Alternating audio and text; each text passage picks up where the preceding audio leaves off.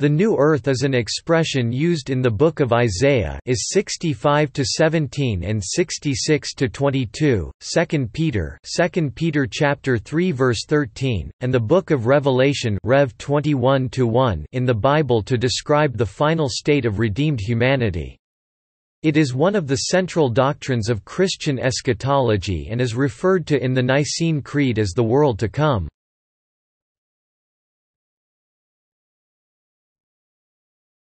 Topic: Biblical references.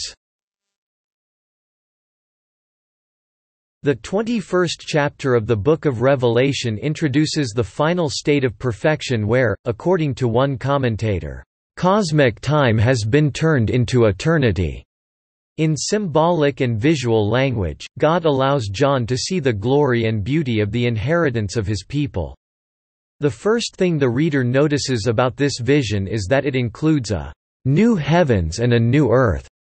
21 1. To understand what the Bible teaches about eternity, the reader of the Apocalypse must understand the New Testament doctrine of the new heavens and the new earth.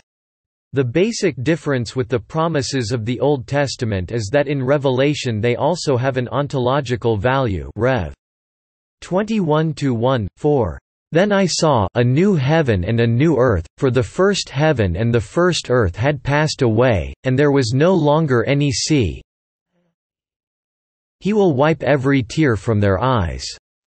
There will be no more death or mourning or crying or pain, for the old order of things has passed away.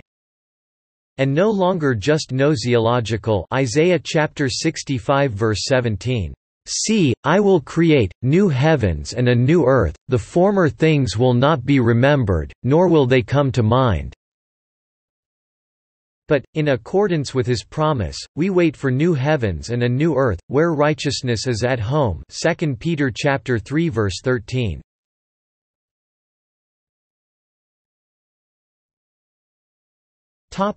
Interpretation In Koine Greek, there were two words that are translated as new in the English Bible, neos and kainos. One Greek resource states, as distinct from neos, new in time. Kainos means new in nature, with an implication of better. Both words suggest unfamiliar, unexpected, wonderful, and the distinction fades with time.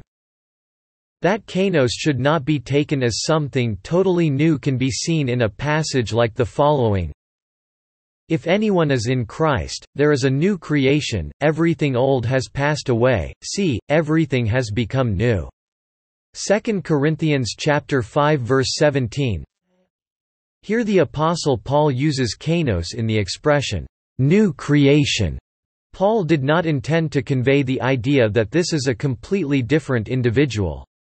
There is continuity between the old person and the new person to such an extent that it remains the same person, but renovated. The person is the same, but the quality of that person has been transformed. In the same way, the biblical concept of the new earth is one of renovation and restoration. Either on this current earth or on rebuilt new planet. This conclusion is supported by Peter's words in his public speech in the Temple at Jerusalem. Repent and return, so that your sins may be wiped away, in order that times of refreshing may come from the presence of the Lord, and that he may send Jesus, the Christ appointed for you, whom heaven must receive until the period of the restoration of all things about which God spoke by the mouth of his holy prophets from ancient time. This earth, however, will be either cleansed or destroyed by fire for the purpose of restoration as expressed in the following passage. But the day of the Lord will come like a thief, and then the heavens will pass away with a loud noise, and the elements will be dissolved with fire, and the earth and everything that is done on it will be disclosed. Since all these things are to be dissolved in this way, what sort of persons ought you to be in leading lives of holiness and godliness, waiting for and hastening the coming of the day of God, because of which the heavens will be set ablaze and dissolved, and the elements will melt with fire? 2 Peter chapter 3 verses 10 to 12.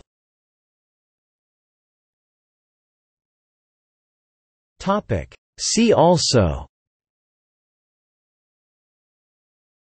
New Jerusalem